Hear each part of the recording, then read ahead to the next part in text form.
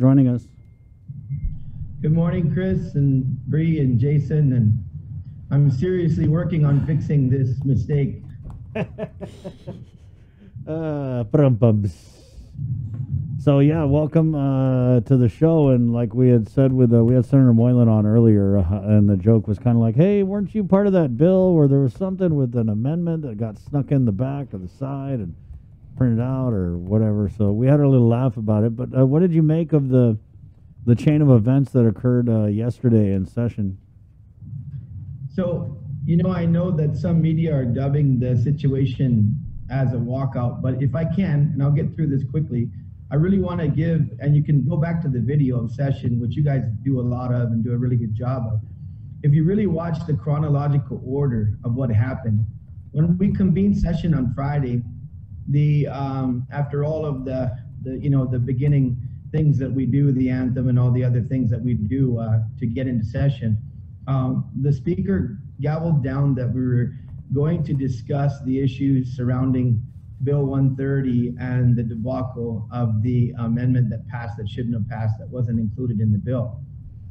And when we went off camera, uh, several of us, the five of us Republicans, approached the speaker and said, Speaker, we would like for this um, to be aired openly on the air so that uh, the people of Guam can see and it's a transparent process.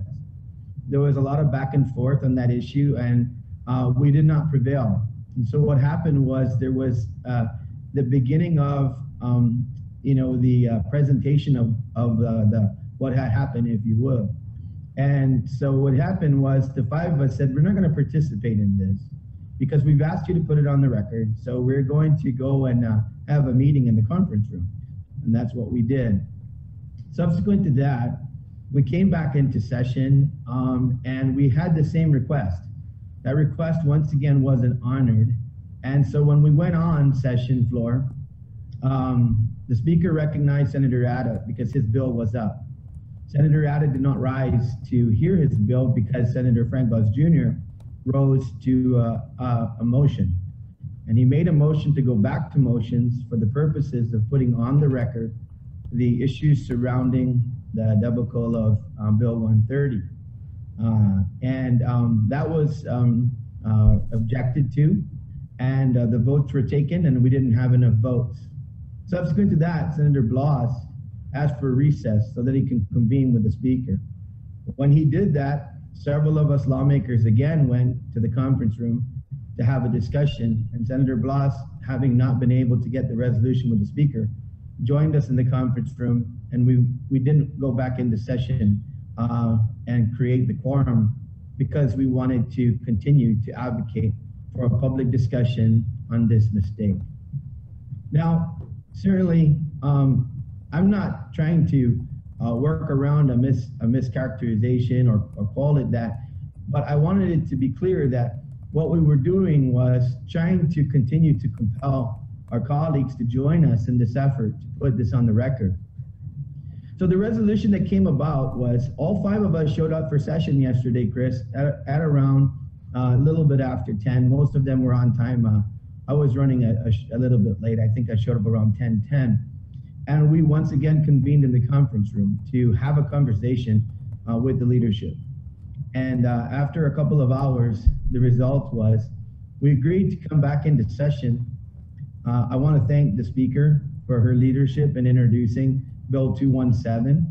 And we agreed to go into session for the placement of nominations on the record for voting next Monday. And we agreed to put only Bill 217 uh, public notice out in order to be able to place it on session agenda. And we agreed that what we would do is dispose of this business before any other business. We agreed that we should play by our rules and make sure that the five-day notice was uh, was adhered to, and that's what takes us into next Monday.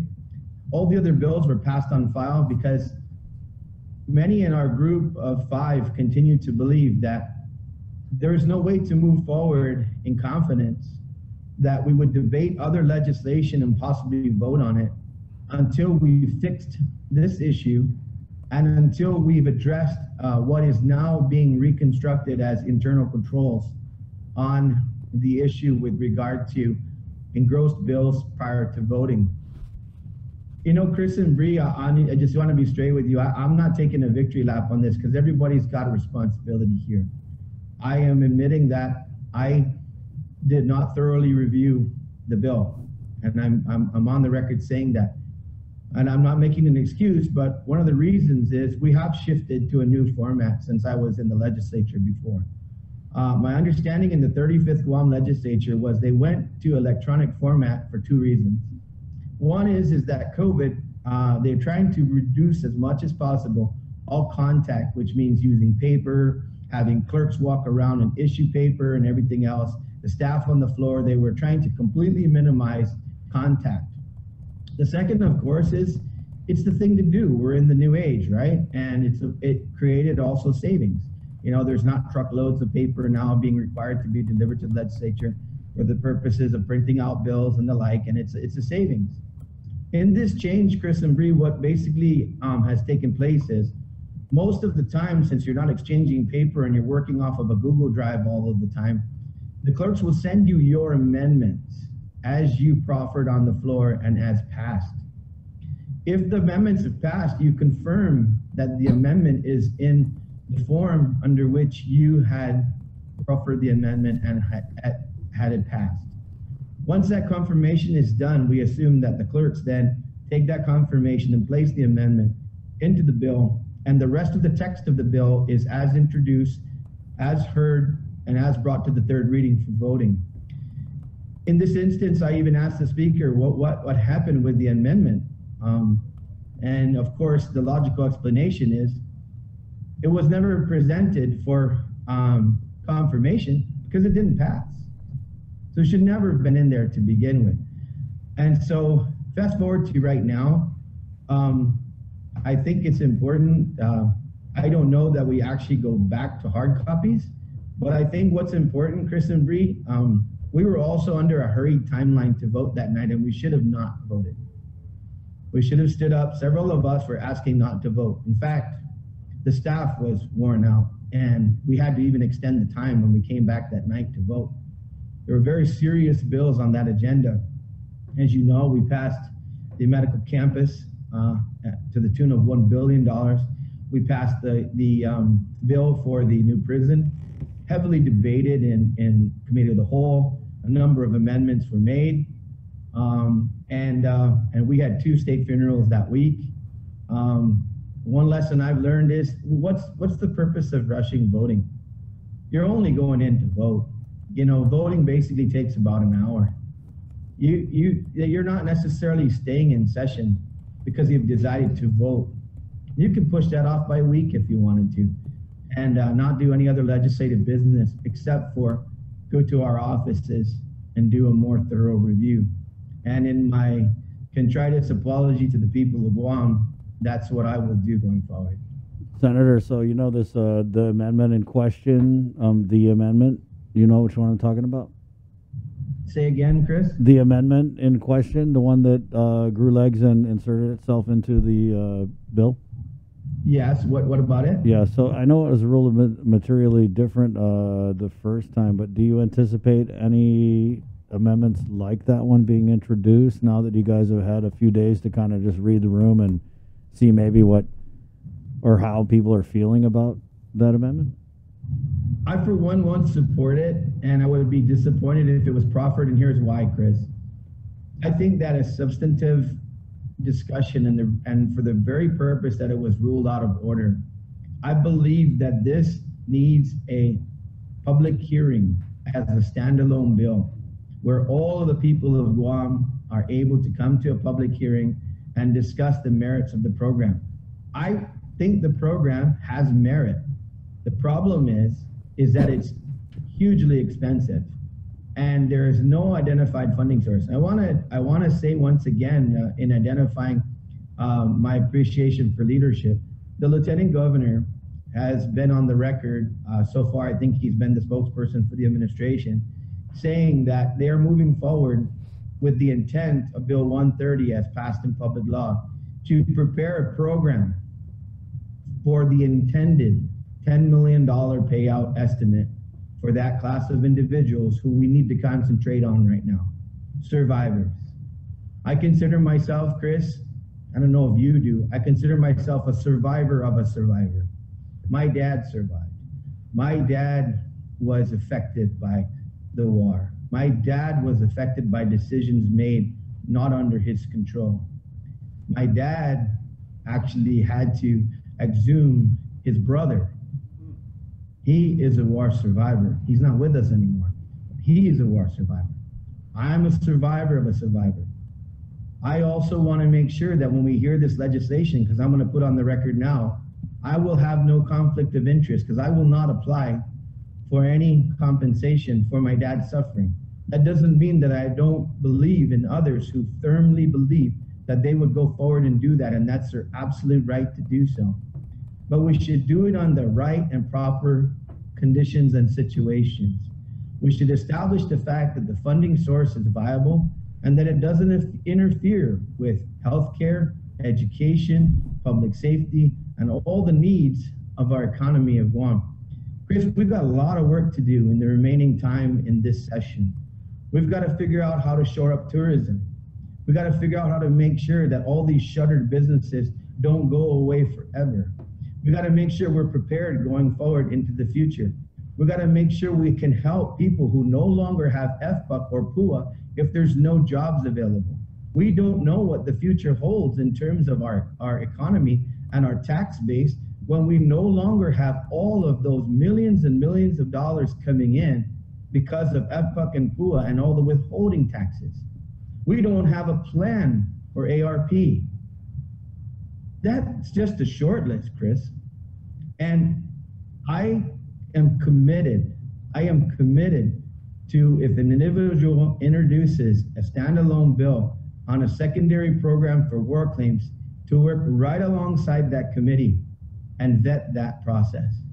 But it's going to have to have a viable funding source that does not interfere with the day-to-day operations of our government and the service critical services to our people. Did you see that Lester Carlson interview we did?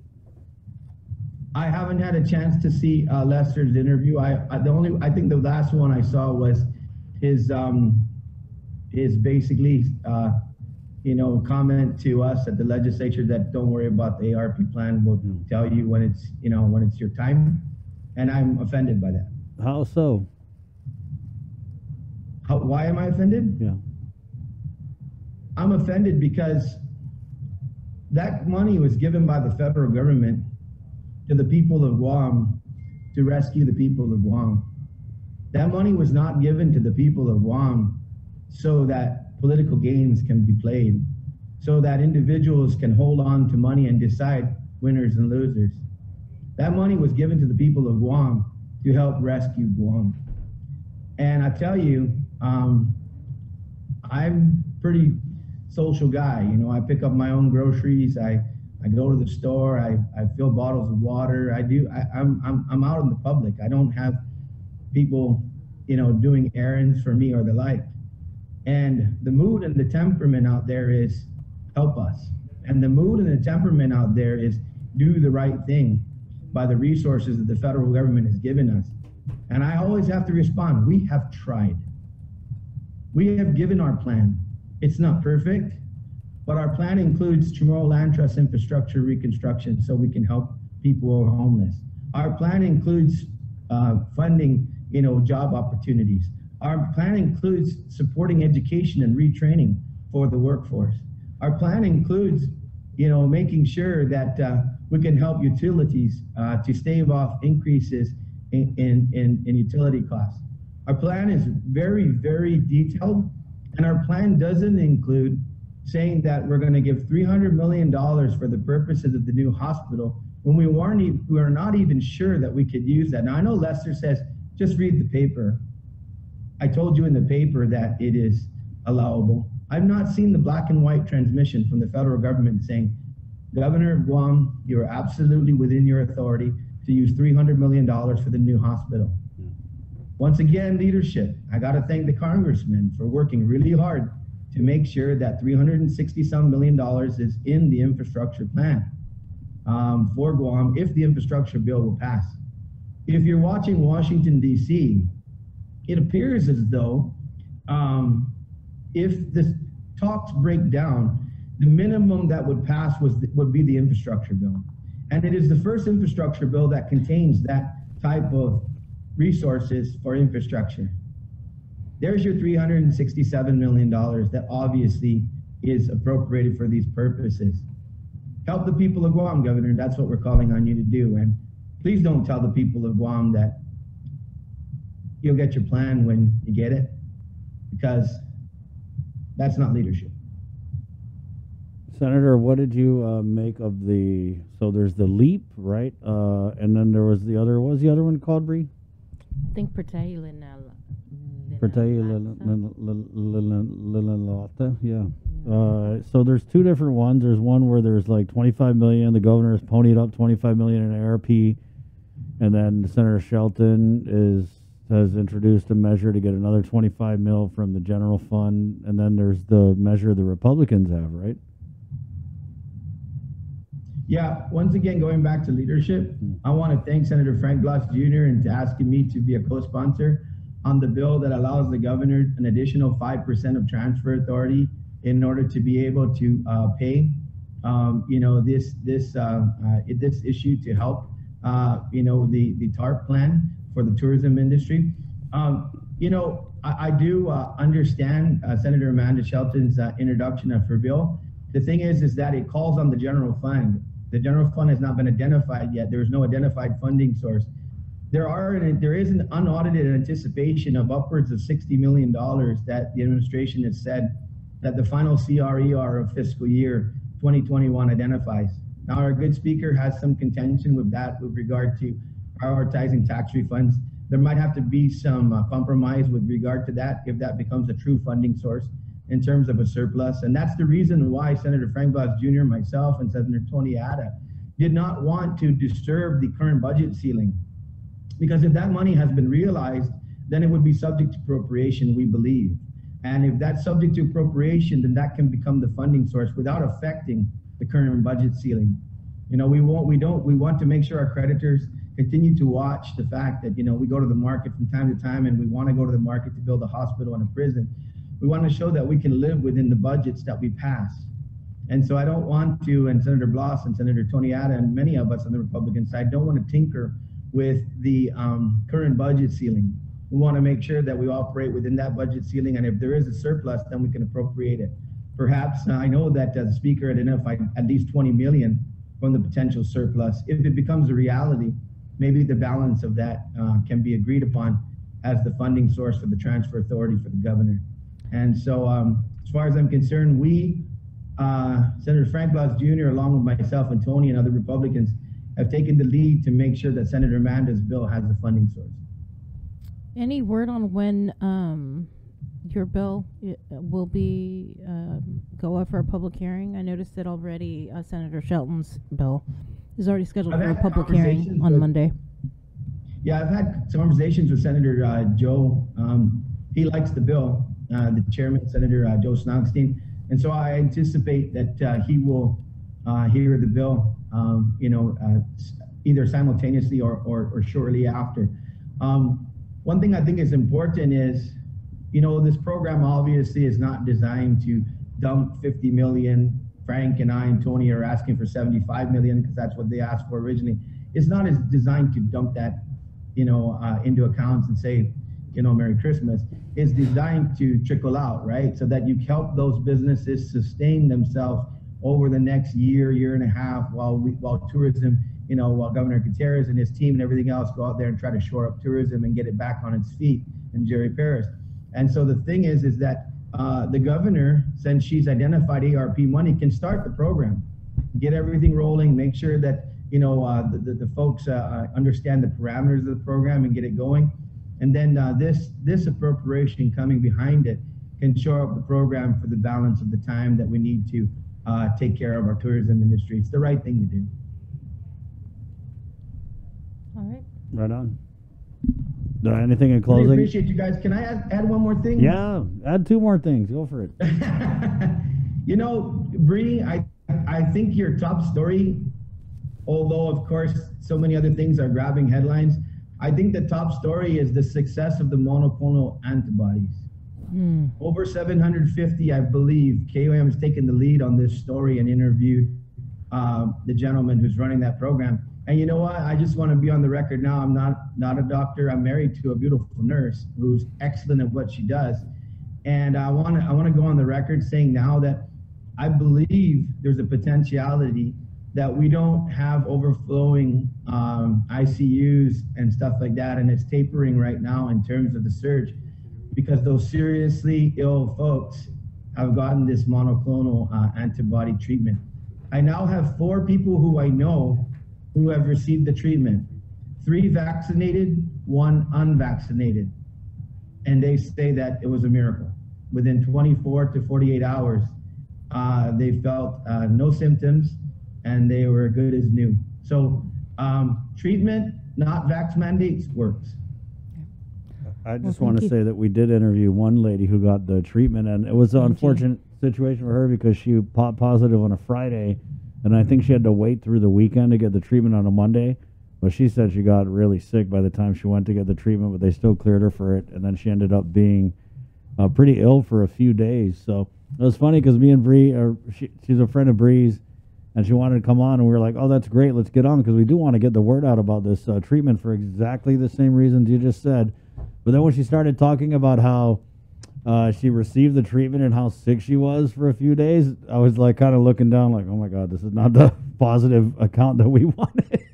Well, I No, can't but she was grateful that she. yeah, totally the grateful. treatment. Of course, Yeah. totally. Yeah.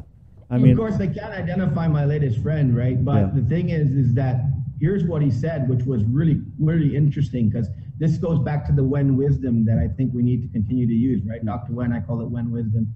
But um, this individual was vaccinated, and his original symptom really was just severe back pain. And he didn't he didn't know, you know, like he, he hadn't had back pain, you know, as a chronic issue, but it was just so severe, and he didn't have some of the other stuff like the headache and the and just really the backache. So he just said, you know what, I'm vaccinated, but I'm gonna go get tested. He went and got tested, and sure enough, he was positive. And so he did. His only severity was, you know, he didn't have troubles breathing. He didn't have any other stuff, but it was that back severe back pain. Mm. He went there, and like I said, within 48 hours, you know, he was he was good as new. Of course, he incubated for the balance of the 10, 15 days, whatever Right, it right, took, yeah. in order to uh, stay safe and not spread anything. But uh, but man, I mean, it, think about it. If we continue to get that message out there, you know, you're vaccinated, um, you're fully vaccinated. You might even have a booster, but something happens to where you're like, wait, this is not normal. I got severe back pain, uh, or I've got body aches for nothing. I, you know, maybe it's the flu, but maybe because I know already that breakthrough is an issue, I could still have COVID. Go get tested. If you are, and like Dr. Wen said, you're experiencing symptoms, get over there, get the monoclonal, and it's there, it's available, and more than likely, it will save your life and keep you out of the hospital. Yep. Thank you, Senator. Thanks, you just Senator. want to say, Chris and Bree, have a great day. You too. Bree, You too. that food look good. I'm gonna go get me one. Yeah, it's three, qu- Three- uh, three three squares squares. marketplace. Okay, get you a chocolate mud pie cup. So I, yeah, I'll have to change from my uh, fried chicken and I go over there and. Hey, It's fried just- chicken is. Let's do both, Bomb. man. We're, it's an unprecedented All time. right. Yeah. All right, there you go, Senator Take Chris care. Duenas. He is the minority leader, and we bring him on uh, like every other week for the Minority Report. It's 9:05. We're gonna take a quick break, and we're coming back with more of the link next. Uno Mixed. We're mixing it up on the last Thursday of every month with a look at lifestyle, entertainment, food.